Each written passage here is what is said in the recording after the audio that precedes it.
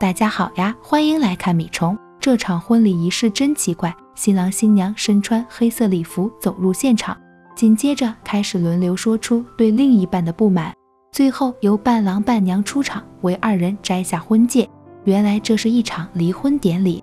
在场的伴娘名叫沈星若，是一名制片人。在参加离婚仪式前，她买了张机票和 VIP 候机厅券，打算寻找优质男参加她策划的恋综。谁成想，一眼相中的目标竟是自己的初恋对象。时隔五年，猝不及防和初恋相遇，心若呆愣当场。陆星言同样目不转睛地盯着他，对世间过往的美好在彼此脑海里回放。从前有多甜蜜，此刻就有多疏离。心若酝酿许久，说出一句久别重逢的客套话：“好久不见。”陆星言点头回应。就在二人情绪复杂，心若眼含泪光时，他的同事走过来坐下。他以为心若已经和对方谈妥，开始滔滔不绝地介绍他们这档关于前任的恋综，邀请陆星言和前任一起参加。看着心若尴尬转过头去，陆星言意有所指，前任看起来不太方便。合伙人这才察觉出二人之间的诡异氛围，猜出了两人的关系。心若恨不得找个地缝钻进去。就在这时，闺蜜打来电话催她快点出发。心若正想走。陆星言询问他是不是要去当伴娘，自己是伴郎，可以捎他过去。心若本想拒绝，但看了一眼需要等待很久的网约车，他又改变主意，同意搭陆星言的车同去。路上两人之间气氛尴尬，谁都想找话题尬聊，却又不敢问及对方的现状。期间，陆星言接到电话，对方是个女生，听起来与他颇为亲密。心若看似不动声色，心里却很不得劲。下车时，陆星言见星若的脚被高跟鞋磨破，从车里拿双运动鞋让她换上。星若不领情，表示不会用其他女人用过的东西。两人匆忙赶到现场。此时，这场别开生面的离婚典礼正进行的如火如荼。女方陈竹控诉男方许承洲在生活中处处扫兴，提供不了一点情绪价值。生病了，男方让她多喝热水；心情不好，又让她别想太多。许承洲指责陈竹做天做地，一天要求他打八个视频电话，连上厕所都要报备，让他疲惫不堪。而且陈竹一天到晚心情不好，又不说原因，让他猜，他又不是算命的，真的不知道陈竹为什么不爽。见二人相看两相厌，主持人宣布进行第二个环节，有请伴郎伴娘帮忙收回戒指。星若和陆星言站在各自的好友身边。见证了这对欢喜冤家从结缘走到离婚。最后一个环节播放夫妻感情破裂的视频。然而让人没想到的是，工作人员播错视频，画面上出现的是五年前陆星言向星若求婚的场景。那时陆星言单膝跪地，深情恳求星若嫁给他。星若笑着答应，憧憬以后的幸福生活。谁知最后两人却在最相爱的那一年分手，此后天涯海角再无联系。这段视频像一把钥匙，打开了彼此刻意关起的心门。到底有没有放下对方，只有他们自己最清楚。在场观众看着视频议论纷纷，陆星言反应过来，赶紧让人切了视频。尴尬的插曲过去，主持人宣布离婚仪式正式完成。在场所有人拿起早已准备好的枕头，开启了一场枕头大战。陆星言和星若配合默契，共同击退外敌。直到没人进攻，两人才把彼此当成目标，一边互相攻击，一边说着注视对方事业有成、飞黄腾达的话语。然而口是心非下藏着的是克制不住的关心和喜欢。原来看似猝不及防的偶遇，其实都是陆星言的处心积虑。当年两人在一起时，星若注册订票软件留的是陆星言的手机号，只要星若订票，陆星言就会立刻收到消息。心若身为制片人，为了物色恋综再见怦然心动的节目人选，网购了机场 VIP 试体验券。陆星言误以为心若要离开这个城市，火急火燎追到机场，看到心若和同事寻找目标时，他才明白自己会错了意。他担心被心若发现，躲进休息室，不想命运却指引心若走到他面前。陆星言的求婚视频在网上疯传。很多网友留言，希望双星 CP 参加节目。合伙人当即给陆星言打去电话，邀请他和星若上节目。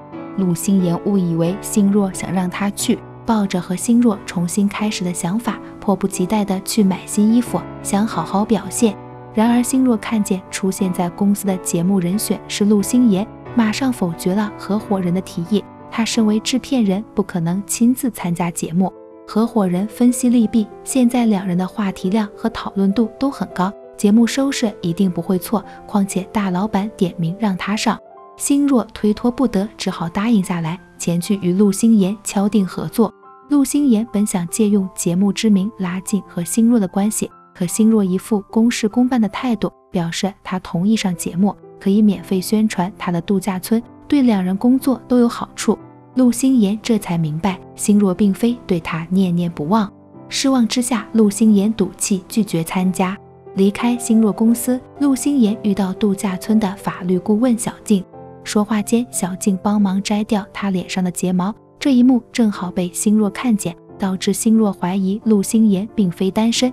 星若想知道陆星言是不是单身，如果帅，就不符合他们的选人条件。正好这时接到了陆星言妈妈邀请他去做客的电话，来到陆星言家，看着房间里熟悉的布置，心若百感交集。高一下半学期，他转学到陆星言所在的学校，因为父亲和陆星言父母是好朋友，陆星言妈妈裴姨非常欢迎他在家里住下，像对待亲生女儿一样对他照顾有加。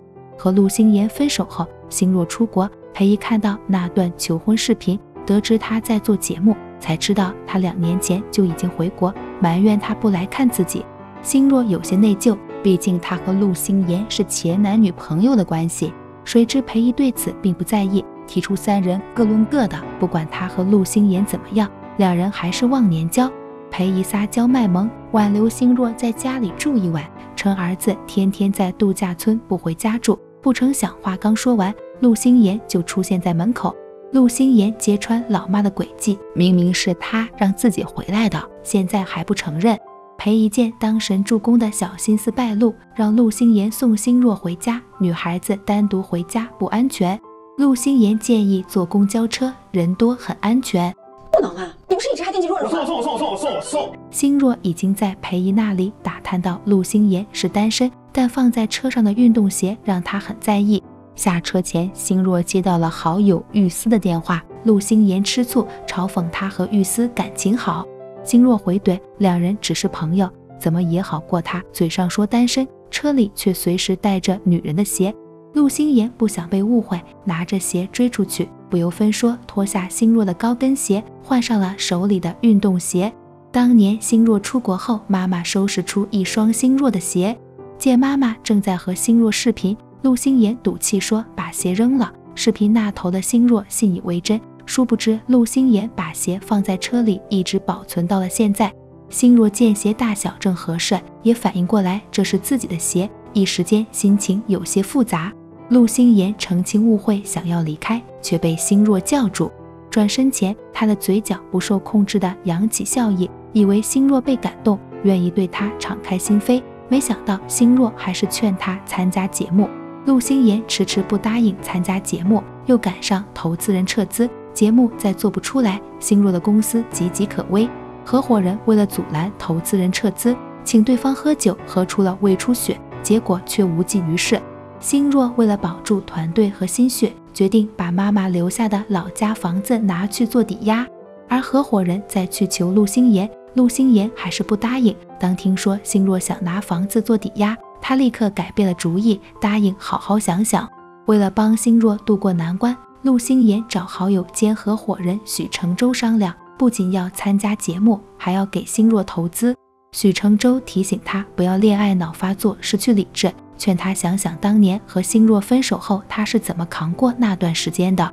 陆星言用商业利益堵住了许承洲的怨言，表示他已经做过背调，心若团队都是业内专业人士。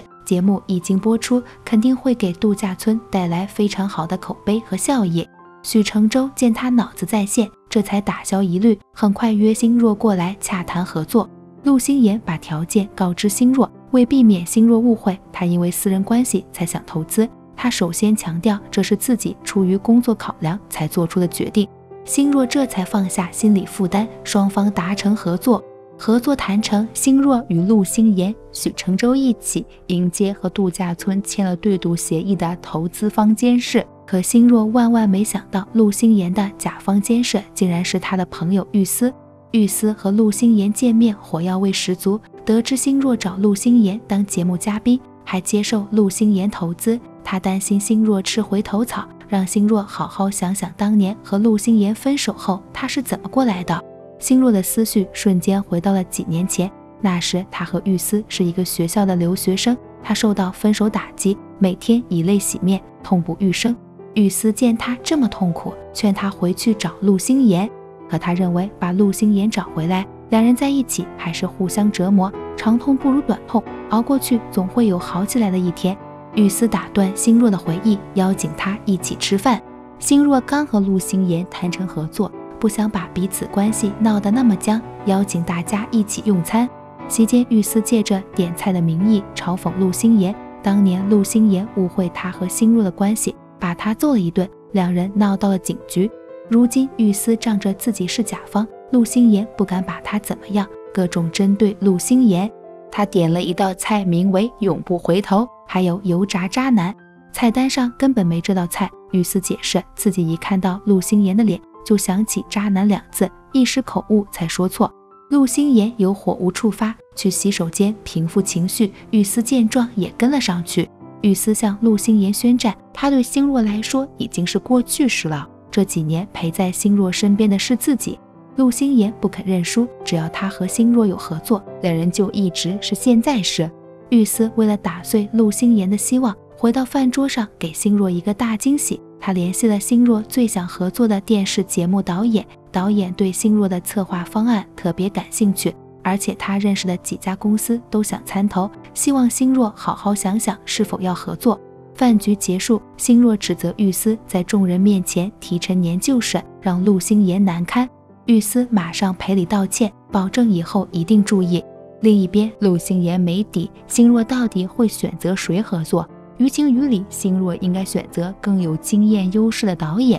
陆星言惴惴不安，一大早就望眼欲穿，不知道星若会不会取消与自己合作。直到星若推门进来，他悬着的心才彻底放下。陆星言想知道星若最终选他的理由。星若表示，虽然导演那边的条件很诱人，但他需要先与对方建立信任关系，不如选知根知底的陆星言。不管两人现在是什么关系。都是彼此最信任的人。陆星言笑了出来，愉快和星若商谈选人细节。他觉得星若原定的目标人物缺少话题性，还不如找身边能带动话题的人。两人一拍即合，同时想到了刚离婚的许承洲和陈竹这对欢喜冤家。他们分头行动，充当说客，搞定各自好友。选完这一对，陆星言还建议邀请他们高中时的班长参加。对方经营着一个科普类的公众号，有一定的粉丝基数，最近出的书评价也很好。星若和团队讨论嘉宾人选，团队提议，如果班长参加，就把恋综改成从校园到社会的熟人局，勾起大众情怀的同时，也能让人讨论各位的现状。陆星言去找班长，可不善交际也没有感情经历的班长不想出现在真人秀上被人讨论，星若为此发愁。陈竹忽然想起，他们的好友小庆高中时是班长的暧昧对象，可以让小庆劝说他。心若灵感闪现，趁势邀请小庆也上节目。这一对正好对应友情以上，恋人未满。小庆自卑，她一个离过婚的女人配不上班长，也不愿去打扰对方。心若尊重小庆的选择，次日她去律所接小庆下班一起吃饭，不想正好看到小庆被前夫纠缠。小庆的前夫喜怒无常，表面上拿着一束花道歉哀求，想和小庆和好，却在别人看不见的时候狠狠掐住小庆的脖子，想把小庆绑回家。小庆不敢反抗，幸亏心若及时赶到，将她从前夫的挟制里救出来。心若把小庆带回自己家，不明白当初小庆为何看上了这个人渣，而且如今都已经离婚了，怎么还对前夫唯唯诺诺？小庆倾诉。她从小到大一直是个极其平凡的女孩。当初前夫对她特别好，她以为找到了幸福，谁知结婚后前夫像变了个人，稍有不如意就对她发脾气。好不容易离了婚，前夫却还是将她当做所有物，不停逼她回家。她不敢反抗，是因为两家都在县城，前夫知道她所有的家人和亲戚，她怕前夫做出激愤的事连累家人。星若理解小庆的难处，为避免前夫再来骚扰，他让小庆回去收拾东西，先搬来他家住。小庆收拾东西时，翻到了上高中时班长送他的五年高考三年模拟书的扉页，写着对他的祝福。当年两人互相暗恋，可惜谁都没有捅破那层窗户纸，导致遗憾错过。就在小静沉浸在回忆中时，前夫突然敲响了房门，小静吓得想跑。不料前夫从窗户跳进来，堵住了他的去路。前夫跪在地上恳求小静和他回去，见小静不从，他开始发狂，剪碎了小静的衣服，撕碎了班长送的书。那本书是小静唯一保留的念想，见被撕碎一地，他彻底怒了，冲上去与前夫厮打在一起。可他不是前夫的对手，几下被打倒在地。小静挣扎着起身，拨通心若的电话求救。心若正和陆星言在一起选择拍摄场地，接到电话，迅速和陆星言一起去救人。两人走到外面，正好碰到许承洲和班长。班长得知情况，也跟着一起去。四人赶到小庆家，前夫见人多势众，吓得逃走。陆星言当机立断，让心若先陪小庆住在度假村。心若安抚哭泣的小庆，劝他勇敢起来反抗前夫。他越退缩，前夫越变本加厉。小静还是顾虑家人会受到牵连，认为只要她不和前夫回去，前夫总有一天会放过自己。心若带小静出来，让她看清前夫的真面目。原来陆星言五人将前夫抓了过来，威胁前夫以后不许再打扰小静。前夫耍无赖，扬言不管离不离婚，小静都是他的妻子，被他支配。小静看透了前夫的丑恶嘴脸，终于鼓起勇气走到前夫面前。拿出专业律师的态度，展示手机里的证据，宣告他将起诉前夫对他的所作所为。心若也威胁前夫，他们已经查到了其工作单位，前夫连续三年被评为优秀员工，说明很在意这份工作。公司明令禁止员工违法乱纪，如果他再纠缠小气，就把他的所作所为抖出来，到时候前夫会丢掉工作。前夫被拿捏住软肋。保证接受两人离婚的事实，以后再也不骚扰小静。前夫落荒而逃，六人组大获全胜。一时间，他们仿佛回到了高中时期的热血时代。陈竹看出班长和小静互相有意，撮合两人在一起。陆星言也当神助攻，邀请班长上节目，并让小庆帮忙给班长介绍个女伴。次日，小庆收到班长的信息，约他出来见个面。班长夸赞小静反抗前夫的表现很棒，如今小静脱离苦海，他很高兴。他想和小静再续前缘，弥补当年的遗憾，又不敢贸然说出口，只能从另一个角度劝说小静上节目。他觉得陆星言和星若彼此还喜欢对方，或许通过这个节目，两人能重归于好。于情于理，他们作为朋友都应该帮助两人。小静自然愿意帮忙，但他有顾虑，这是个恋爱节目。他与班长并非恋人，班长让他放心，到时候告诉编导自己暗恋他，事情就可以解决。小庆这才放心，羞涩答应组队参加节目。心若和陈竹得知小庆的决定，高兴地举杯庆祝，祝贺小庆获得新生，也希望他和班长能擦出火花，结一段良缘。六个嘉宾人选敲定，节目组马不停蹄地布置场地，心若也参与其中，亲自去买保护材料。为了砍价，她谎称正在和老公布置婚房，恳求老板便宜一点。这番说辞正好被来找她的陆星言听到，被叫老公，陆星言心中窃喜，马上进入状态，握手搂腰，营造亲密姿势。买完这一家，两人又转战下一家，互相称呼老公老婆，叫得极其顺口。星若嫌弃陆星言不会砍价，让他跟在自己身后听指挥。谁料陆星言直接将他抱起来放进小推车，推着他全力前进。两人笑着闹着，好似回到了当初在一起的时光，忘记了中间分隔的那几年。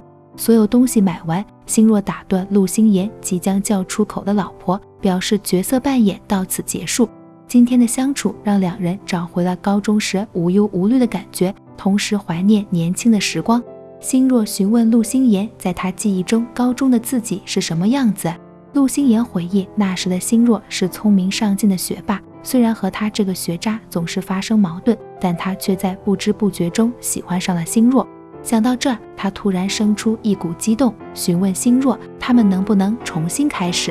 然而话没说完，他又想起了当年两人无休止的争吵和矛盾，害怕现在的他们重蹈覆辙，最终把话咽了回去。星若看出陆星言欲言又止，追问他想说的是什么。陆星言谎称觉得土豆很好吃，想再要一份。星若很诧异，陆星言什么时候这么能吃辣了？高中时期有一天裴一梅在家，陆星言主动带星若出去吃饭。星若点了最爱吃的麻辣火锅，陆星言不能吃辣，大部分时间都在看着星若吃。期间，星若爸爸打来电话，星若却拒绝接听，也不愿提起爸爸。可是看着别的孩子拿着爸爸给的棉花糖，他很羡慕。陆星言看出星若眼里的渴望，买单时也要了一根棉花糖。星若拿到棉花糖，嘴上吐槽陆星言幼稚，眼里却含着泪花，既感动又甜蜜。陆星言没有告诉星若，分手后他疯狂练习吃辣，就为了有一天重逢能陪星若一起吃辣。两人回到度假村，工人已经开始装修。他明明说了等保护材料到了再开工，质问是谁下的命令。新来的实习编导娇娇仗着自己父亲是投资人之一，站出来称是他下的令。心若没顾及他的身份，怒斥他没有资格越俎代庖，不听命令就滚出去。娇娇当众丢了面子，对心若怀恨在心。陆星言担心心若被投资人找麻烦，心若不甚在意，摸爬滚打这么多年。什么困难都见过，他早已练就铜墙铁壁，什么都不怕。星若打趣，陆星言也是甲方，他在陆星言面前也该注意分寸。陆星言正色告诉他，在自己面前，他只要做最真实的自己就好。星若眼中有泪光闪动，陆星言也红了眼眶。明明彼此还爱着对方，又怕再次让对方受到伤害。星若倾诉，如果两人没有在一起过，会是最好的朋友。或许当朋友才是最适合两人的路。不久后，节目正式开拍，许承洲和陈竹这对离婚冤家吵架斗嘴，一刻停不下来。班长和小庆略微拘谨，熟悉节目的心若带领大家走流程。一起吃火锅时，许承洲和陈竹抢一个丸子，不想丸子掉在了心若身上。这画面让离婚夫妇想起了似曾相识的一幕。也让星若和陆星言的思绪回到了彼此都很珍视的那个夜晚。高考结束后，众人给同一天生日的星若和陆星言庆祝。陆星言递给星若一串丸子，却不慎掉在了星若身上。星若去洗手间清洗，出来时看见陆星言正在等他。少年控制不住满腔爱意，赤诚地对喜欢的女孩表白。那一晚成了两人心中难以忘怀的回忆。如今旧事重提，甜蜜、遗憾，种种情绪涌上心头。星若告诉陈竹，刚刚那一瞬间，他好像情景重现，看到了当年的陆星言。回过神来，才发现他和陆星言已经认识十一年了。陈竹看出他的心思，询问他有什么打算。星若关掉两人的麦，凑到陈竹耳边说了一句话。陈竹听后一脸震惊表情，感到难以置信。节目录制第二天，节目组下发任务。二十四小时内，在指定约会地点对前任说一句真心话和一句假话，且不能告诉对方哪句是真，哪句是假。恋爱未满 CP 在镜头前很拘谨，彼此之间也不敢贸然表明心意。班长很喜欢和小庆独处，可被工作人员盯着，他一句话都说不出来，懊恼自己表现糟糕。他询问小庆和自己在一起是不是很无聊，小庆坦言和他在一起的时候很开心。另一对离婚 CP 只要见面就能呛起来，两人吵吵闹闹，让对方猜测真话假话。陈竹率先开始，婚庆报账的时候，他多报了一万块钱买包。许承洲不甘示弱，离婚前每次说加班，其实都躲在车里打游戏。这种级别的互掐对两人来说都是小儿科。以两人对对方的了解，立刻猜出刚才所说都是真的。许承洲见状，开始放大招。离婚之后，他和别的女生单独吃过饭。小静不淡定了，指责他离婚不到一百天就去找新欢。许承洲卖关子，让他自己猜这是真话假话。小静不肯认输，反击他也找了别的男生单独吃饭。这下轮到许承洲着急了，质问他有没有跟对方进行下一步。两人互相吃醋，说着说着又像小学生吵架一样幼稚互掐。另一边，陆星言到达指定约会地点，看到负责跟着星若的娇娇自己过来了，他赶紧询问星若在哪。娇娇告诉他，星若正在赶来的路上，他先过来给陆星言做后台。陆星言信以为真，配合回答问题。然而直到太阳落山，仍然不见星若的踪影，他再也无法淡定。他怀疑娇娇从中作梗。娇娇辩解自己给星若发了位置，陆星言抢过手机查看，发现娇娇发的根本不是他们所在的位置。他警告娇娇，如果星若有什么闪失，一定饶不了他。说完，快速去寻找星若，因为娇娇给星若发了错误的地址，导致星若在山里迷了路。意识到自己找不到正确的路，星若在树上做了标记。山里没信号，手机又悲催的没电关机。求助无门的他只好靠自己摸索。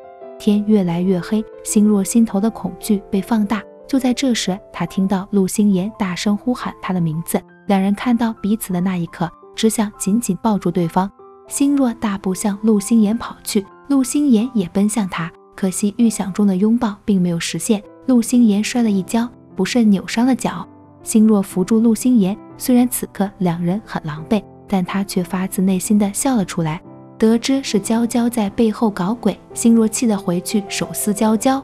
他刚要兴师问罪，合伙人朝他使眼色，拜托他高抬贵手。娇娇毕竟是投资人的女儿，他们不好得罪。心若明白利害关系，但他也不想吃亏，拿话点娇娇，以后若是再有人作妖，别怪他不留情面。这段插曲过去，两人终于进行到真话假话环节。星若见陆星言一直吃辣，追问他什么时候学的这么能吃辣。陆星言没再隐瞒，为了陪他吃辣，特意练习了一段时间。星若被这个意料之外的答案震撼，脱口而出，希望两人重新开始。此话一出，两人紧紧盯着彼此，眼中皆是浓得化不开的爱意。关键时刻，游戏结束，那些藏在游戏中的真真假假，只能靠自己辨认。后采环节，几人向观众揭秘真话假话。小庆说的那句“和班长在一起很开心”是真话。陈竹揭秘他的真心话是：许承洲如果立马再婚，他一定买一百二十个花圈送到婚礼现场。星若交代他想和陆星言重新开始是真话。那一刻，他被陆星言感动，心里话脱口而出。说完后，他又恢复了理智，重新开始对他们两人来说都不是一个很好的选择。与此同时，节目组问出了所有人最想知道的问题：当初两人为什么分手？陆星言的思绪回到几年前，他去国外和星若相聚，却在楼下看到星若和别的男人亲热，这是他心里永远的痛。但他并未把这件事告诉节目组。第二次录制完毕，星若和陆星言之间的关系好似缓和，可无形之中又很疏离，两人都放不下对方，又不知道该不该重新开始。次日，雨丝来找星若逛街，星若本不想去，听到要去的地方是家居店，又马上答应。他看出陆星言脖子不舒服，想给陆星言买个舒服的枕头。两人的行踪被娇娇听到，娇娇又开始作妖。她以需要补拍素材为由，将陆星言带到家居店，让三人碰面，来个大型修罗场。陆星言果然吃醋，但星若没给他发作的机会，表示手里的枕头和香薰都是给他买的。陆星言为自己的误解道歉，星若没放在心上。可玉思正式宣战，他暗恋星若，这些年以朋友的身份陪在星若身边，就是想一点点走进星若心里。陆星言吃醋，玉思觊觎星若，他用合作伙伴的身份要求星若在节目拍摄期间与其他男性保持距离。星若知道他说的是玉思，他再次重申自己和玉思只是普通朋友关系，他也不是陆星言的所有物。要求陆星言不要干涉他的交友自由，两人吵了一架，气氛跌至冰点。第二轮游戏开始，节目组给三组嘉宾量身定做了不同的游戏。离婚 CP 被要求约会过程中说话不超过十句，这对见面就吵架的两人来说难上加难。果然，见面没几分钟，两人就超出了十句话。节目组要求不能再说话。陈竹执着追问和许承洲吃饭的女人是谁，甚至不惜动手。见两人又有争吵之势，工作人员用胶布封住了两人的嘴，没得到答案又不能说话，陈竹委屈哭泣。许承洲心疼极了，不顾规则摘掉胶布，坦白和他一起吃饭的女人是他妈妈。陈竹这才放心，扑进许承洲怀里，紧紧抱住他。恋爱未满 CP 的任务是必须说到一百句话，这对两个不善言辞的人来说颇有难度。班长怕小庆不自在，谎称有个朋友咨询法律案件，让小庆帮忙将话题引到小庆的舒适区。果然，小庆在专业领域滔滔不绝。两人轻松完成任务，任务结束，班长邀小静一起看电影。拿爆米花的时候，两人的手指碰在一起，无意间的肢体接触，两人既害羞又心动。星若和陆星言的任务是一起做饭，并各自说出对方的一个缺点。刚吵完架的两人像是没有感情的机器人，客气疏离一板一眼，连昨天还客生客死的工作人员都觉得无趣。就在这时，陆星言锅里的鱼突然着火，他第一反应是保护心若，两人不约而同地关心对方有没有受伤，下意识的反应骗不了人。可恢复理智的两人再次客气起来。节目组要求两人互指缺点，心若吐槽陆星言喜欢让别人按照他的想法来生活，陆星言反击心若的缺点是交朋友的眼光不行，如果能远离不良朋友，人生会更好。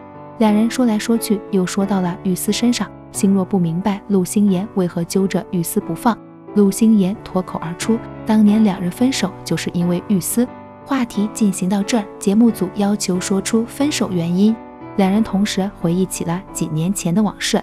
当年两人参加了一档综艺节目，陆星言为了给星若惊喜，特意在节目上求婚。星若在镜头前答应下来，可节目录制完成。他将戒指还给陆星言，表示刚才不好驳陆星言的面子才答应的。事实上，他从小看到父母婚姻不和，对婚姻没有任何期待，甚至还有恐惧，所以他从未想过结婚。说完这些，心若告诉陆星言，他即将去德国留学，希望两人都好好想想以后。陆星言生气，心若没有早点告诉他留学的事。心若解释，他也是今天早上才接到录取通知。气头上的两人冷战了几天，但终究敌不过爱意。心若出发前一天，他主动求和，只要两人还互相喜欢，距离不是问题，他会经常飞过去看心若。就这样，两人开始了异国恋。陆星言不辞辛苦，一次次飞去德国找星若。星若内疚，让他来回奔波，却无意间在陆星言手机上看到了选取婚礼场地和买婚房的信息。星若不想结婚的想法没有改变。他想找机会和陆星言好好聊聊，谁知还没来得及，就发生了意外。陆星言第十次来德国找星若，来到公寓楼下，他看到阳台上一男一女正在热吻，他误以为那是星若和室友玉思，气得冲上去，不由分说揍了玉思一顿。因为动手打人，他被带进警局调查。等他出来，看到心若一脸憔悴的等着他。其实，在阳台上接吻的是玉思和其他女生。他为误会心若而道歉，心若心寒，陆星言不信任自己。陆星言解释，两人离得太远，又只是男女朋友的关系，他有不安全感。但他相信，等心若回国了，一切问题都会解决。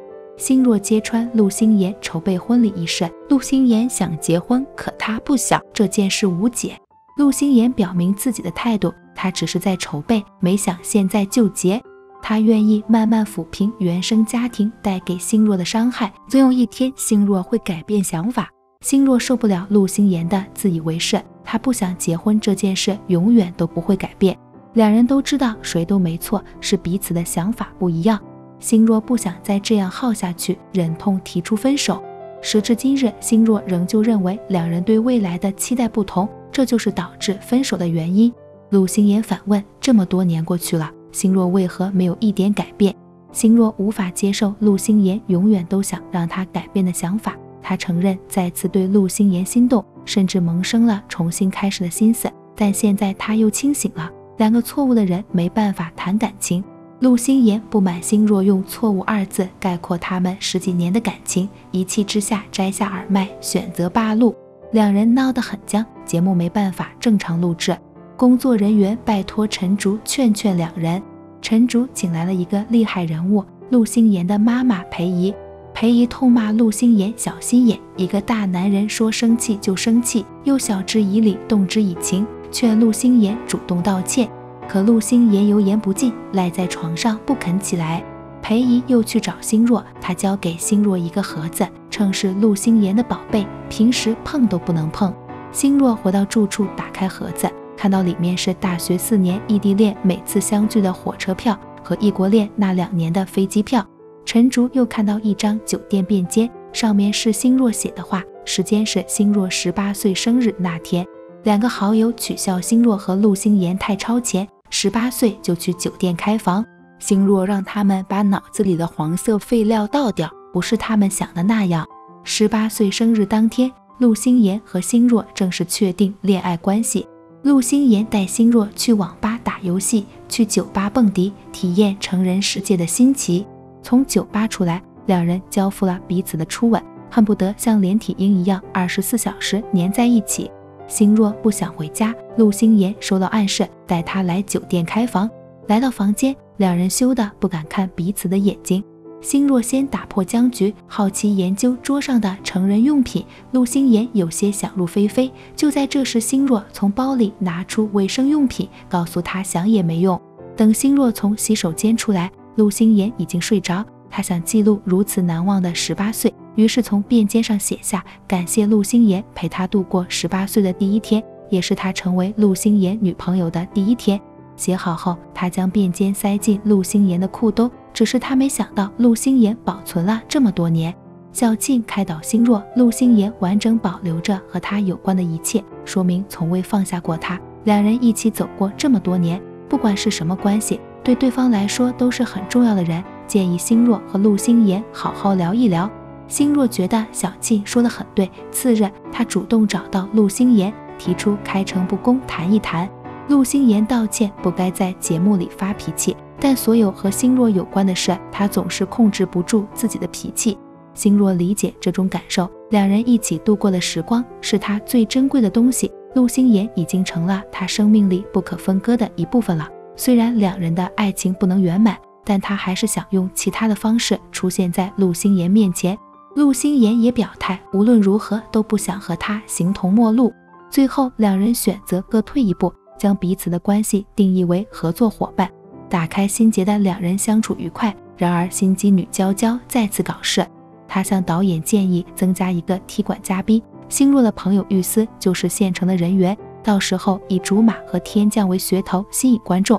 导演觉得方案可行，让娇娇立刻实施具体计划。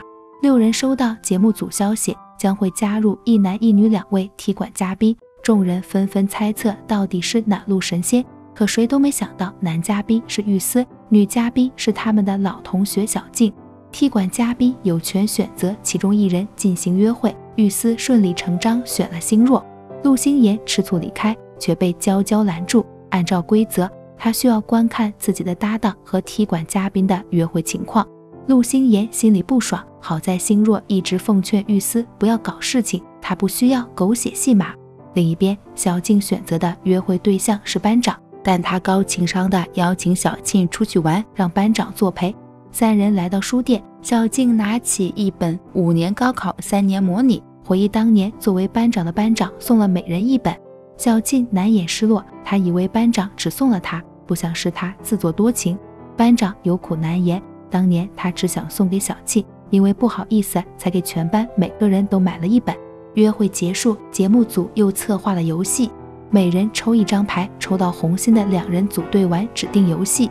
第一组抽到红心的是小庆和班长，两人被要求同吃一根饼干。羞涩的两人闭上眼睛，沉浸在游戏中。眼看距离越来越近，众人吃瓜起哄。然而小静却出言提示，距离差不多了。第二组抽到红心的是离婚 CP，双方需要抱在一起，在地上滚三十秒。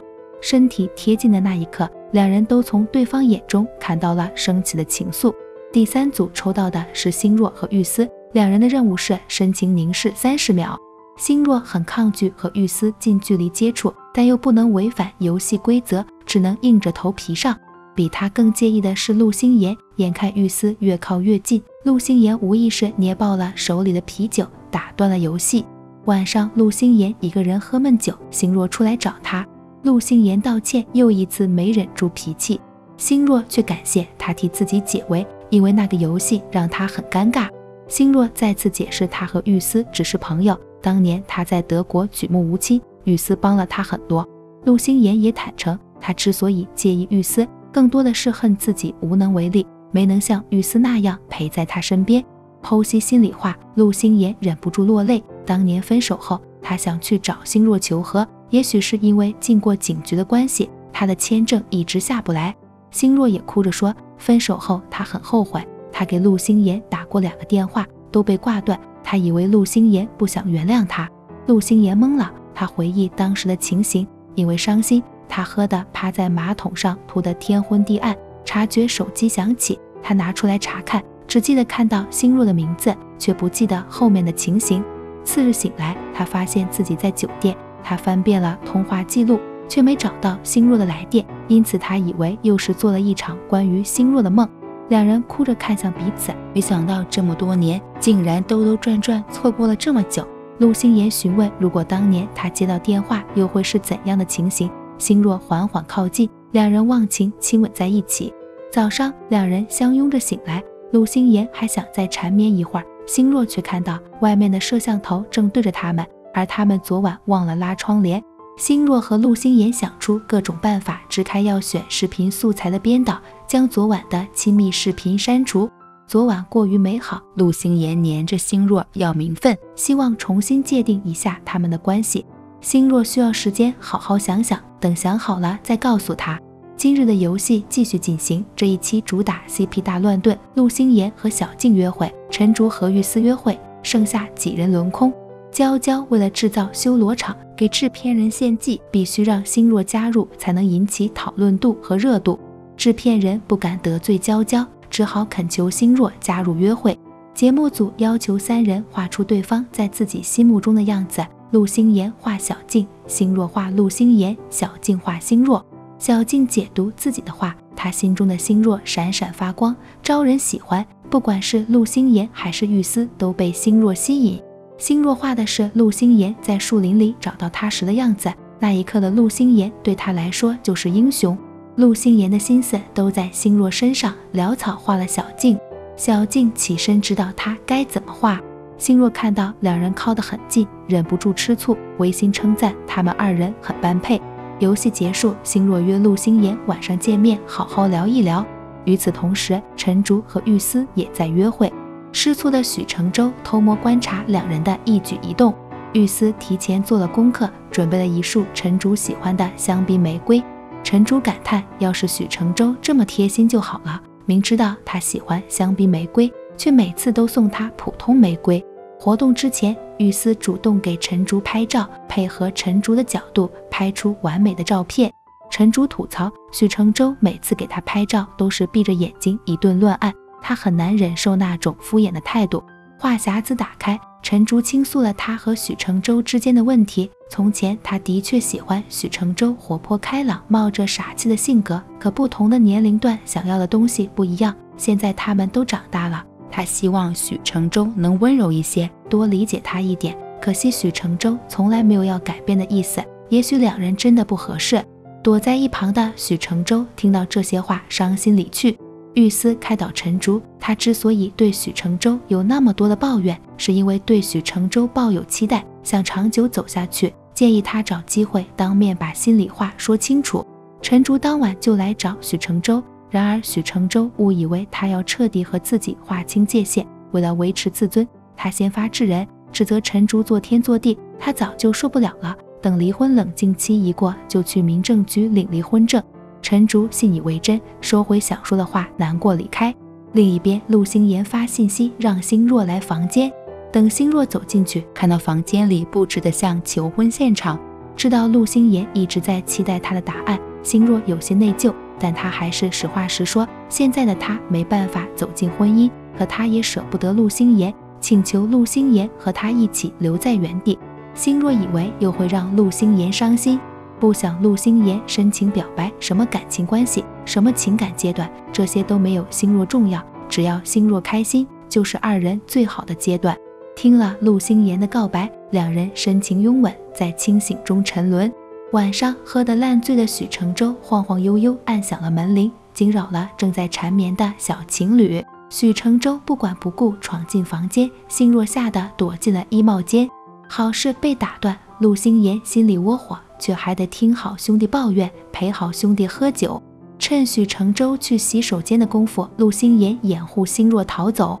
可心若四处找不到背心和衬衫。就在这时，许承洲拎着一件背心从洗手间出来，看到心若在这里，再看看手里的女士背心，许承洲立马酒醒，指责两人偷偷摸摸在一起。陆星言为了让他保密，不惜花巨资购买游戏皮肤送给他。转眼间到了新一周的录制，所有嘉宾需要重新选择自己想要配对的人选。一旦踢馆嘉宾踢馆成功，将产生新的配对情侣，落单嘉宾将会离开。许承洲认为落单的肯定是他，因为陈竹约他三天后去民政局领证，这次约会肯定不会选他。为了不那么难堪，他选择主动离开。然而就在和陆星言告别时，他突然收到节目组的信息。踢馆嘉宾小静选择的约会对象是他，约会地点在陈竹的咖啡厅。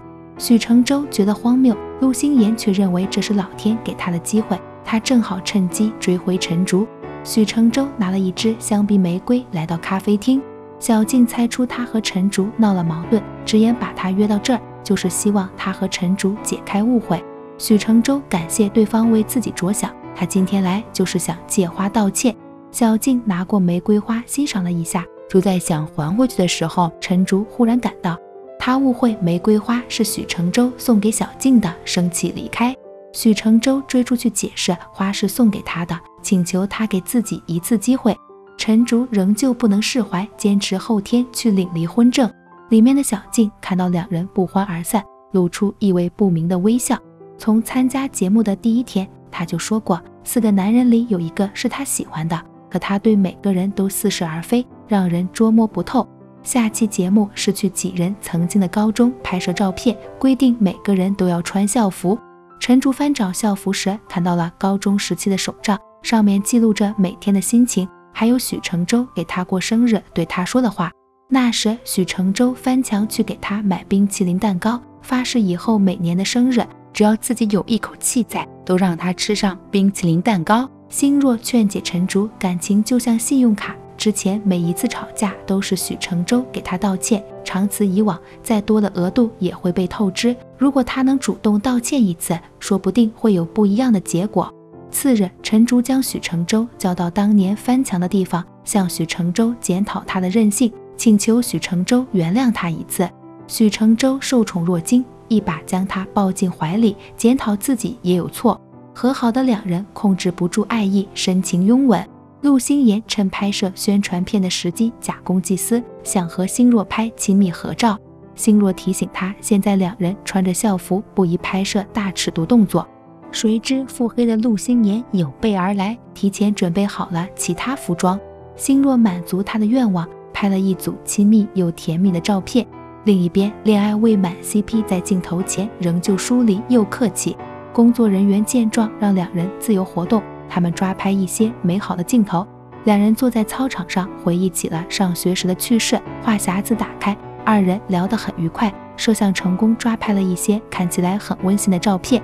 两位踢馆嘉宾分到一组。拍摄完毕，高情商的小静请全体工作人员喝奶茶。娇娇觉得小静很会来事。感叹：要是所有嘉宾都像小静一样就好了，不要像心若一样事多又矫情。小静微微一笑，夸赞娇娇工作能力强，有时间请她吃饭。与思见两人打得火热，询问小静来这个节目的目的，还有她喜欢的到底是谁。小静故弄玄虚，还是不肯透露她为谁而来。宣传照拍摄得很顺利，可收工时，工作人员黄斌突然晕倒。将人送进医院，医生诊断为因劳累引发的心肌炎。心若很疑惑，节目的拍摄强度并不大，不可能劳累过度。不过事已至此，再加上黄斌家庭条件不是很好，他们愿意按照合同约定的赔偿。另外，心若个人愿意再出一份补偿金。本以为事情到此为止，然而次日，心若收到消息，黄斌要起诉他们，合伙人也一头雾水。本来昨天已经谈好了。谁知今天早上黄斌忽然反悔，表示需要静养一年，要求他们赔偿十二个月的工资，一共十二万。星若分析，这不是钱的问题，一旦打官司，不管是输还是赢，都会影响节目的口碑。说严重点，节目可能根本不能上线。合伙人告知，现在最重要的问题是，与黄斌交好的几个工人都请假，不想出工，控诉他们压榨黄斌，不想赔付，非要等一个结果。星若认为有人想把事情闹大，他们需要请律师。陆星言推荐小静。小静本来就是度假村的律师，况且录了几期节目，对这里的人和事也熟。星若将情况告诉了小静，小静第一时间约见黄斌的妻子，了解对方的诉求。然而，星若万万没料到，和黄斌妻子一起来的律师竟然是小静。陈竹担心星若和小静会因为站在对立面闹掰，特意准备了酒局，让两人开诚布公的谈一谈。小季说出接这个案子的原委是委托人点名让他代理的，他向上司申请避嫌却被驳回。上司提醒他最近刚转正，没有挑案子的资格。他想来想去，对方找他这个没经验的小律师，只有一个解释，想离间他和心若的关系。心若猜测对方这么做的目的不只想要钱，似乎针对的是他们的节目。但黄斌夫妻显然只想要钱，所以肯定有人在背后搞鬼。虽然还不清楚敌人是谁，但心若安慰陈竹，他和小静只是处理同一件事的角度不同，他们只需做好本职工作就好，绝不会影响彼此的关系。陈竹看着依然相亲相爱的两人，这才放下心来。陆星言在黄斌房间门口的垃圾箱里找到了一个快递盒子，据说快递单上的诊所给黄斌寄药已经持续较长时间，他推测黄斌之前就患有心肌炎。并隐瞒病情，靠吃药来控制，但一切只是推测，他们没办法确定诊所给他寄的什么药。星若查看监控，发现黄斌工作时随身携带保温杯。陆星言也从黄斌室友那里打听到，黄斌从进组到现在一直都有喝中药的习惯，中药就装在保温杯里，工作的时候也会喝。为了查到黄斌到底在吃什么药，陆星言提议去长青村找到给黄斌寄药的诊所。拿到医生当时给黄斌开的病历，最好是让大夫给他们当人证。心若同意，两人马上出发。可他们前脚刚走，娇娇就走出来，脸上露出恶毒的微笑。经过四个小时的车程，两人顺利抵达长青村。他们在村口问路的时候，村民对他们很警觉，告知诊所已经搬走多年。两人看出村民在说谎，借着买东西的名义向小卖部老板打探诊所的下落。老板表示诊所位置偏远，等自己忙完带他们过去。谁料老板趁他们不注意打了一通电话。很快，一个自称黄兵大哥的男人带着村民将两人包围，对方人多势众，骂骂咧咧，威胁他们滚出去。陆星言为了保护星若，差点和对方动手，但他控制住了暴脾气，向对方妥协，马上走。星若夸赞陆星言有进步，没让冲动占据上风。陆星言趁势表白，星若不喜欢的他都会改。星若转移话题，他不甘心就这么离开。正说着，一个球不小心踢到陆星言身上，两个小朋友跑过来道歉。星若谎称陆星言被砸伤，让小朋友带他们去诊所找大夫。小朋友信以为真，带他们来到了诊所。他们成功找到了给黄斌开药的王大夫，但王大夫守口如瓶，一个字都不肯透露。这时，黄斌大哥又带人找上门，直接动手强行赶两人走。双方争执间，王大夫的妻子突然冲出来护在陆星言身前。原来王大娘患有阿尔茨海默症，将冲突之中的陆星言当成了老伴，死活挡在陆星言身前，不让他受欺负。村民提醒黄斌大哥，这种情况再撕扯会刺激到王大娘，若王大娘病情加重，他们承担不起责任。王大夫也向黄斌大哥保证，他什么都不会说。黄斌大哥这才不情愿地带人离开。王大娘将陆星言拉进房间，翻箱倒柜找新衣服，要和爱人成婚。星若陪着王大娘找衣服，任她沉浸在自己的思绪里，始终暖心安慰。好不容易把王大娘哄睡，星若问出了心中疑问：王大娘对结婚这么执着，是不是有什么未了的心愿？王大夫给他们讲述了自己和老伴的故事。当年他和老伴情投意合，他出发去前线之前，老伴承诺不管别人怎么说，都一定等他回来。他这一走就是好几年，因为各地辗转和村里失去了联系，村里人都认为他死了。老伴的家人逼着他嫁人，等他回到村里，老伴已经嫁作他人妇，两人碰见也只能痛恨命运不公。为了避嫌，王大夫去隔壁村学习中医，开了诊所。很多年，两人互相躲着对方，不能见面。直到四年前，老伴被确认阿尔茨海默症，还没有儿女，丈夫也很早就去世了。王大夫便把人接过来照顾。就这样兜兜转转，两人终于走到一起。这么多年，老伴一直希望跟他办一场婚礼，所以才总是念叨着结婚的事儿。心若听完故事，眼中含泪。之前他总觉得人不能只关注感情。过度沉迷于感情，到最后可能会一无所有。但见证了王大夫和王大娘的感情之后，他觉得和爱人长相厮守也是一件很幸福的事。心若二人与王大夫告别，临走前，心若说出事情的原委：黄斌工作认真努力，他们愿意给一定的补偿，但他们必须要把事情弄清楚。王大夫表示，黄斌妻子打来电话称黄斌被剧组压榨，所以他才帮忙隐瞒。现在知道了真相，他如实告知黄斌确实早就有心肌炎，一直在他这拿药。说完，将黄斌的药单给了他们。有了证据，心若与合伙人一起去了黄斌家。证据确凿，黄斌只好承认他进组之前就有心肌炎，为了养活一家老小，这才隐瞒病情。心若想知道，明明之前已经协商好了赔偿，为何一夜之间反悔？是不是有人在背后搞鬼？事已至此，黄斌只能说出真相：是娇娇撺掇他们索要十二个月的赔偿金，还把小庆的名片给了他们，让他们拿不到赔偿就请律师打官司。事情真相大白，心若不愿牵连黄斌夫妻，出于人道主义，他愿意给黄斌三万元赔偿费，并让黄斌妻子去剧组当保洁。黄斌夫妻感激涕零，发誓要好好工作回报心若。心若与合伙人回去后，立刻开除了娇娇。娇娇还想拿投资方老爸来压人，可惜合伙人已经提前跟投资方通过气，对方也不能容忍女儿吃里扒外。心若认为以娇娇的智商，想不出这么缜密的计划，逼问把她当枪使的人是谁。可娇娇一口咬定就是她自己的主意。娇娇被开除，剧组重新迎来平静。在拍摄下一期节目之前。心若决定增加一个特别节目，给王大夫和王大娘办一场婚礼。剧组全程拍摄结束后，把视频制作成光盘，王大娘随时可以拿出来观看。婚礼当天，八位嘉宾当做伴郎伴娘出席，几人都被这场迟来的婚礼感动，从这段感人的爱情故事里体会到了很多东西。婚礼结束，陆星妍假公济私，以参观酒店的名义带着心若去开房。对于两人的关系，心若不再坚持原地踏步，升陆星言为预备役男友。陆星言喜出望外，两人度过了一个甜蜜又缠绵的夜晚。这次的案子，小庆作为黄斌夫妇的律师，虽然没有胜出，但也发现了强有力的证据。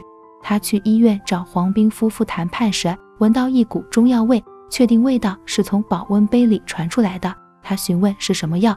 没想到黄斌夫妻神情紧张，告知是补药。小庆回去后与班长谈论此事，他总觉得黄斌夫妻在撒谎。思索过后，他想出了一个好办法。小庆和班长蹲守在黄斌家楼下，见黄斌妻子将药渣扔进垃圾桶，两人趁其不备把药渣拿走进行化验。小庆向上司道歉，接手的第一个案子以和解结束，没能为律所带来收益。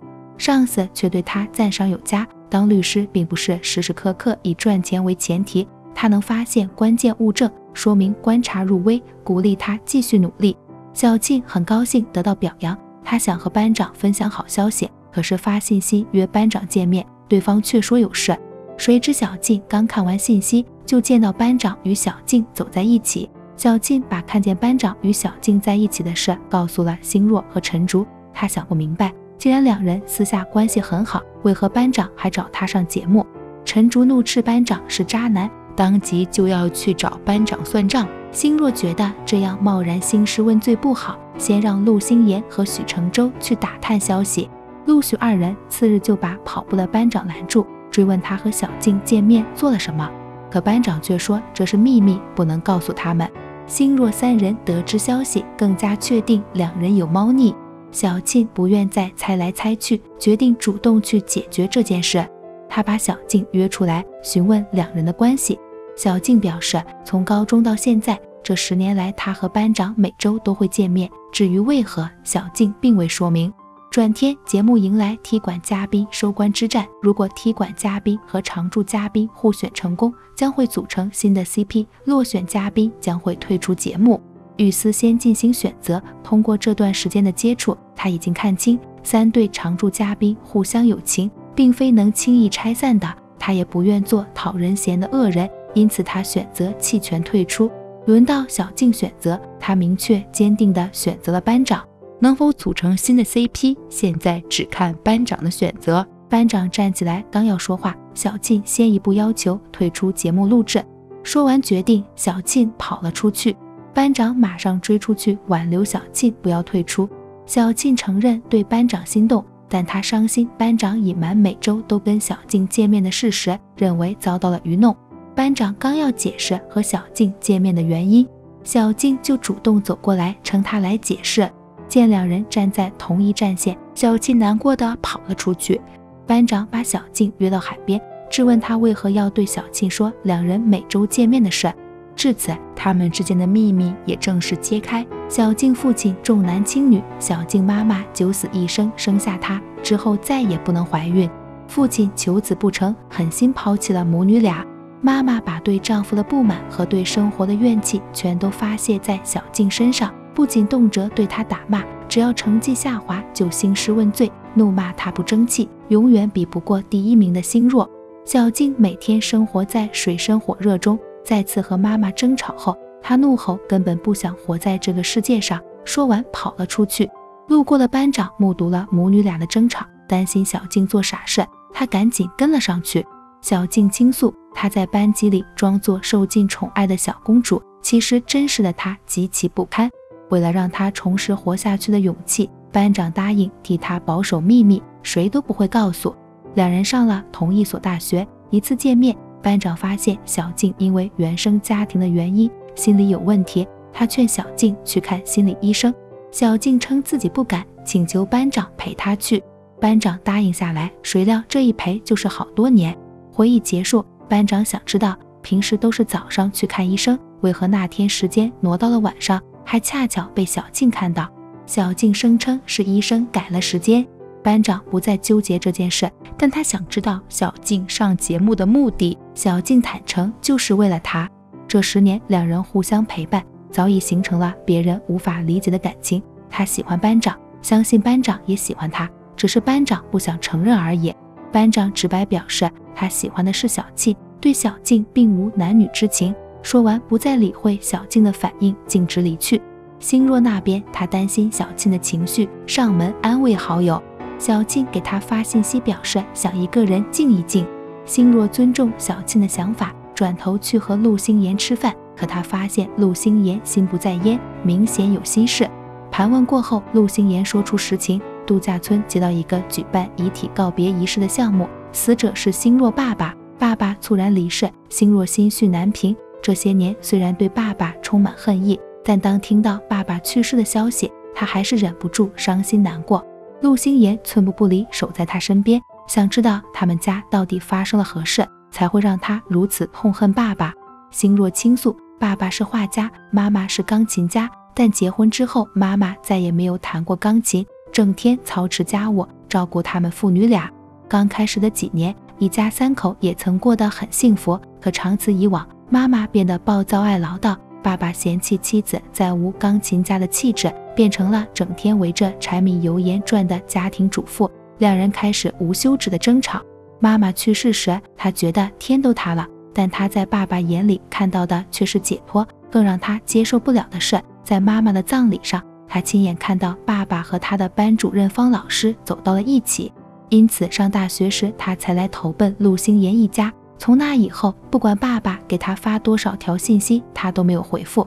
如今爸爸离世，放下或者憎恨都没有了对象。陆星言告诉他，还有一个机会。他爸爸临走之前特意交代，希望他能作为告别仪式的致辞人，他可以趁这个机会把心里想说的话都说出来。心若想给自己一个和解的机会，愿意完成爸爸最后的心愿。告别仪式当天，心若准备好了致辞。上台之前，陆星言犹豫着问他，如果他的父亲还活着，他是否愿意迈出沟通这一步？星若认为他现在迈出这一步也不算晚。陆星言还想再说什么，主持人已经叫星若上台致辞。星若讲述了这些年和爸爸关系不睦，但现在他想放下所有，只希望爸爸能获得永恒的平静。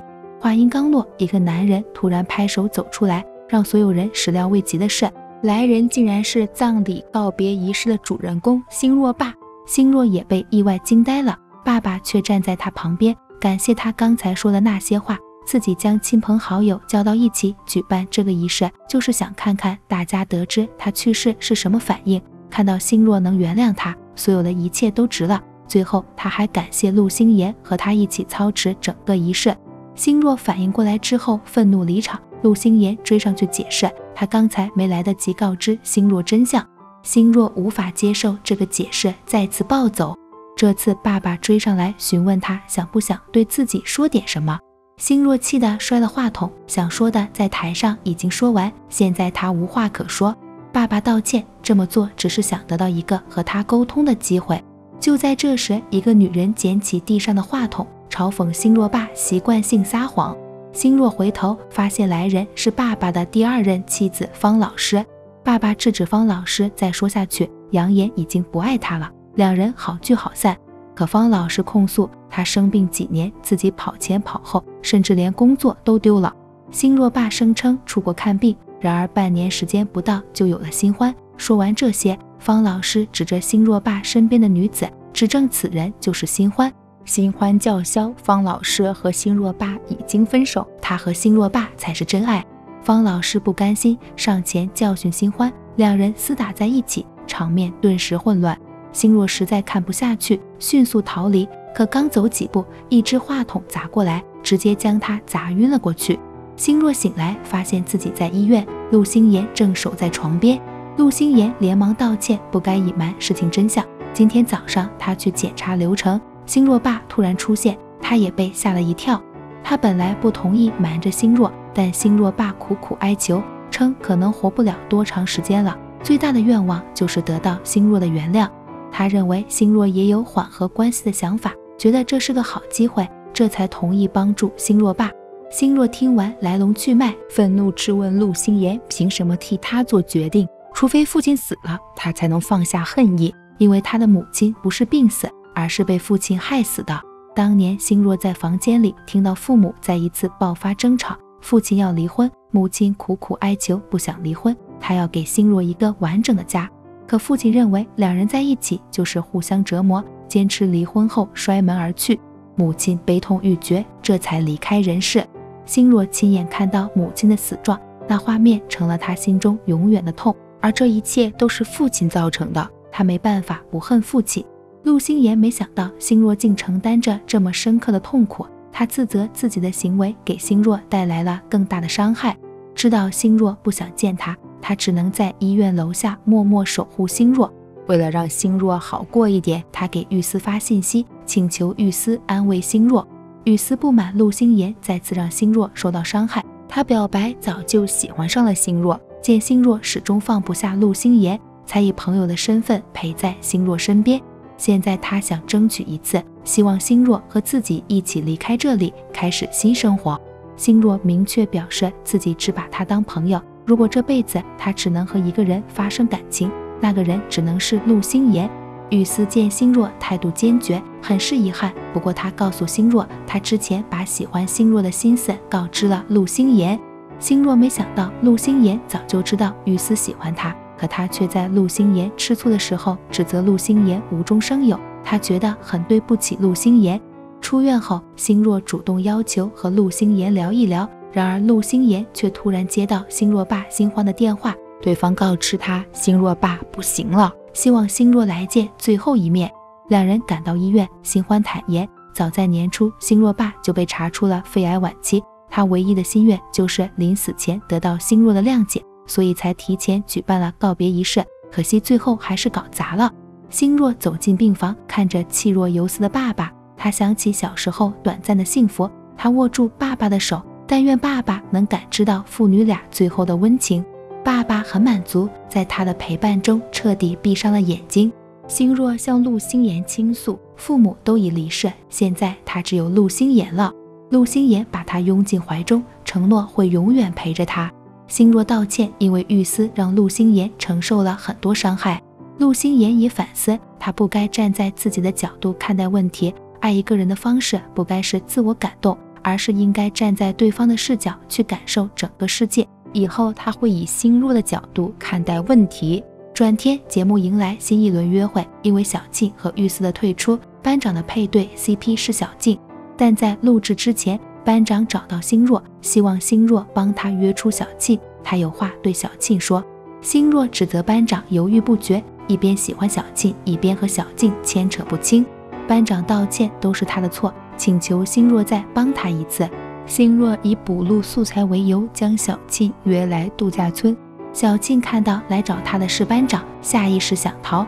班长拦住小庆，关掉两人的耳麦。把这些年与小静见面的真相告诉了小静。在此之前，他明确拒绝了小静的喜欢。为了解除和小静之间的误会，他也通知小静会把真相告诉小静。解释完误会，班长鼓起勇气向小静表白。从高中起，他就喜欢小静，总是默默关注小静的一切。要怪就怪他思前想后、犹豫不决的性格，导致错过了小静。他很感谢这档节目。让他有重新接触小庆的机会，这一次他不想再错过。小庆深情倾诉，班长也是他心里的白月光，他也一直喜欢着班长，可他离过一次婚，自觉配不上班长。班长不在意过去，只在乎两人的现在和未来，请求小庆给他一次机会。小庆终于放下心结，愿意成为他的女朋友，两人拥抱接吻，甜蜜又幸福。陆星言带星若去看他父亲托朋友举办的画展，里面的每一幅画都是星若从三岁到十六岁从未缺席。十七岁，星若离开家，爸爸的画开始留白，像是等待星若自己画上去。星若一幅一幅的观看，他很庆幸在父亲去世之前，两人解开了心结，没有让遗憾成为一生的伤痛。他也很感谢陆星言为他做的一切，让他放下怨恨，得到真正的平静。陆星言将他抱进怀里，许诺一生一世都会陪着他。没过多久，第一期节目全网首播，节目组邀请八位嘉宾观看自己在屏幕上的表现。小静姗姗来迟，她把车钥匙还给班长，表示昨天见完客户太累了，把车停在外面，自己打车回去了。除了玉思和小静，其他三对情侣的关系都处于甜蜜期。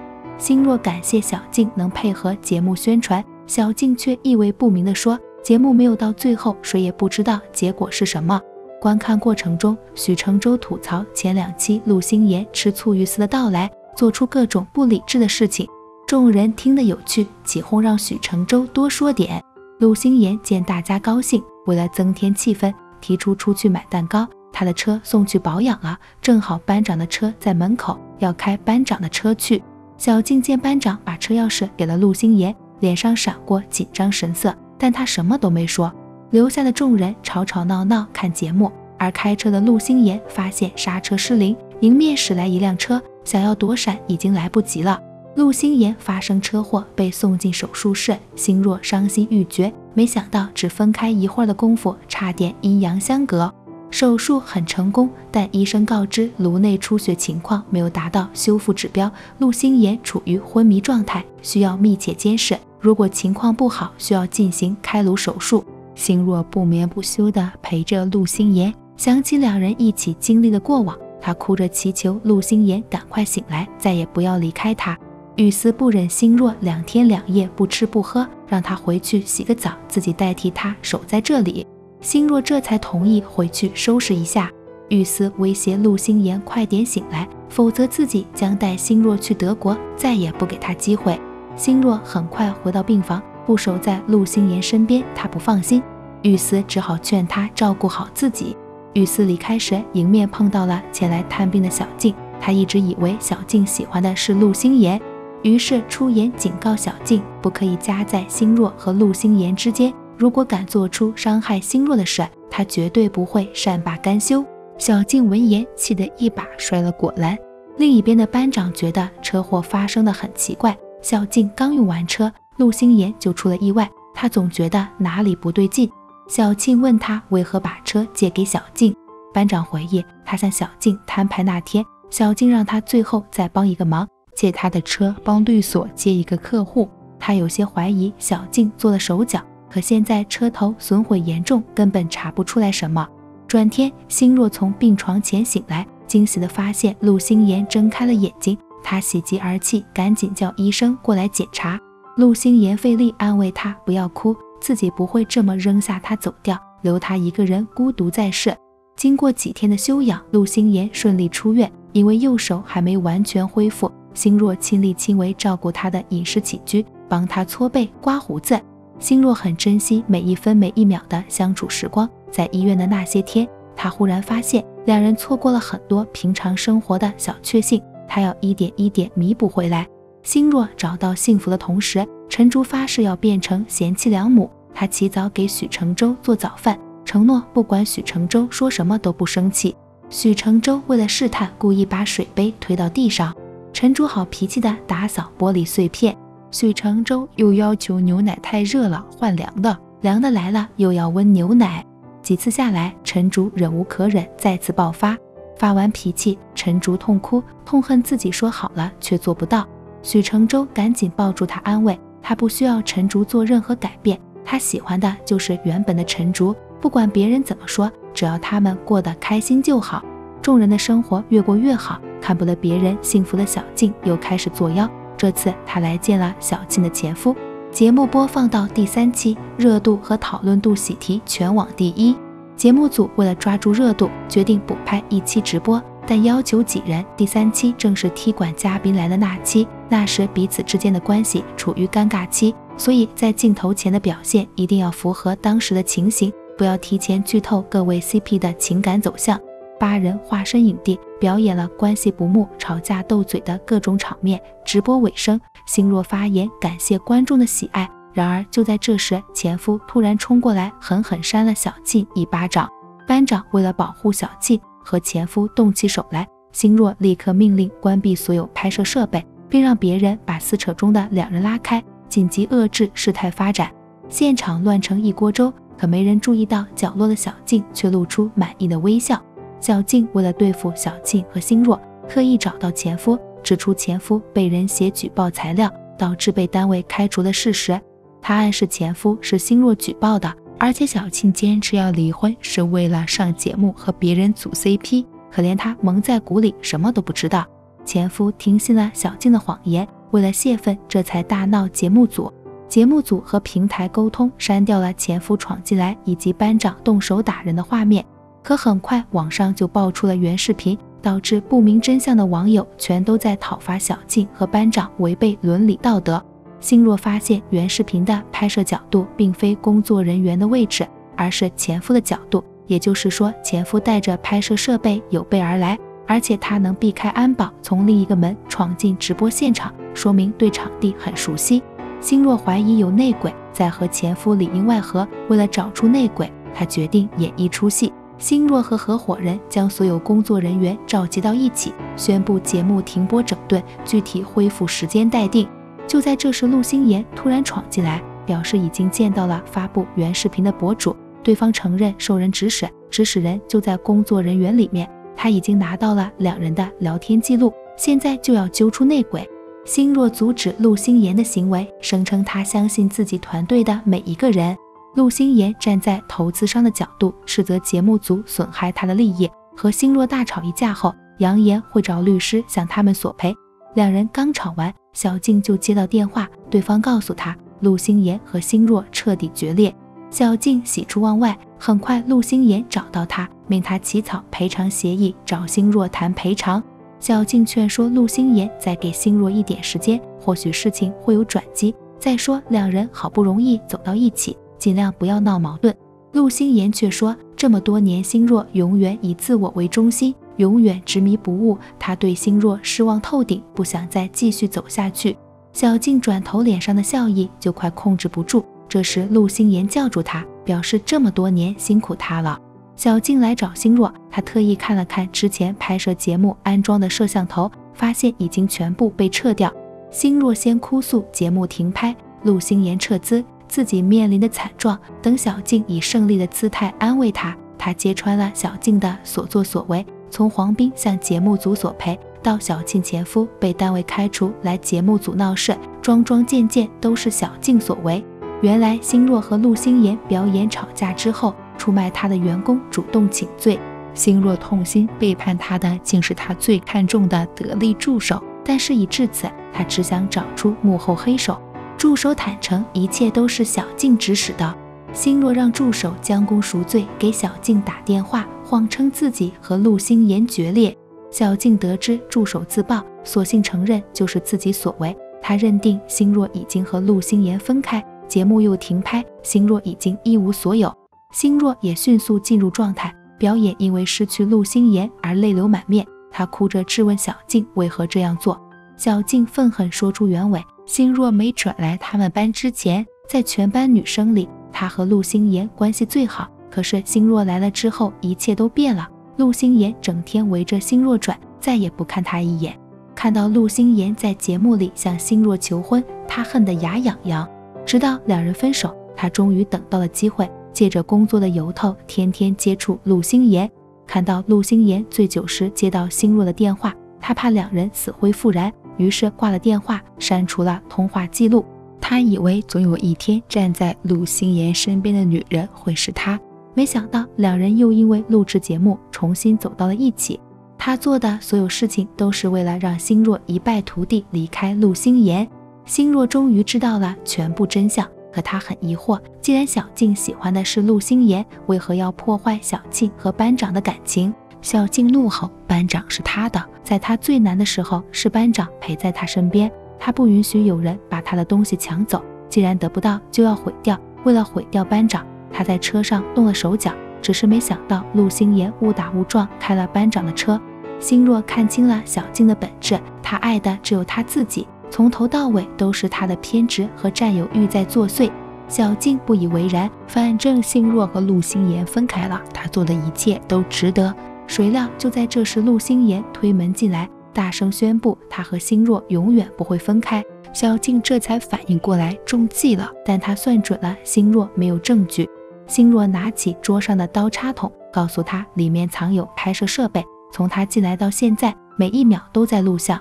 小静恼羞成怒，拿起叉子攻击心若。陆星妍为了保护心若，手背被划伤。心若眼疾手快制服了小静，命令其他人立刻报警。一切尘埃落定后，陈竹和许承洲看到了一份求婚设计图，两人坚信是陆星妍要向星若求婚，一个去求证陆星妍，一个去给星若通风报信。陈竹知道星若对婚姻充满恐惧，害怕陆星妍求婚会给星若带来压力。谁知星若却表示，设计图是他的，是他想在节目录制的最后一期向陆星妍求婚，因为陆星妍给他的爱足够让他克服所有恐惧。对方已经走了九十九步，剩下的一步就由他来主动。另一边，陆星妍明确告知设计图不是他的。他和许承洲猜测，或许是班长要向小静求婚。为了避免心若误会他有求婚的想法，他一再表示喜欢原地踏步，甚至把之前准备的求婚戒指当做罪证交给了心若。转天，节目迎来最后一期录制，三组嘉宾将在最后一次约会中揭秘情感走向。班长和小静选择做饭，对他们来说，和对方一起吃一日三餐，分享生活中的琐碎小事，就是最大的幸福。未来的日子，他们也会像现在这样陪在对方身边，感受平常生活里的快乐。约会前一天，陈竹发现许承洲忽然消失不见，而且联系不上。他认定许承洲是接受不了她怀孕的事实，想要逃避责任。于是约会当天，他让工作人员和他一起去医院。许承洲回来得知陈竹在极度伤心的情况下去了医院，火急火燎地跑到医院，看到陈竹从流产门诊出来，他以为孩子没了，痛哭坦白，他消失一天是因为去体验分娩感受，想体会陈竹的不易。他被疼晕了过去，醒来才发现手机没电关机，都怪他来晚了一步。陈竹不忍心再骗他，说出实情，自己只是来做产检。得知孩子还在，许承洲抱着陈竹又哭又笑。另一边，陆星言来到约会地点，看到是求婚现场，他认为工作人员带错路了。直到穿着婚纱的星若叫他，他才反应过来自己是求婚的主角。星若拿出陆星言为他准备的戒指和他为对方买的戒指，询问陆星言愿不愿意娶她为妻。陆星言终于等到了梦想中的这一刻，单膝跪地请求星若嫁给他。两人互相戴上戒指，在阳光下深情拥吻。节目录制完成，六个人全都找到了自己的幸福。陆星言知道星若喜欢到处走走看看，他召集大家边看世界边谈恋爱。六人每天都在四处感受大自然奇妙与美好的路上，就像他们的幸福永远都在前行，不会停止。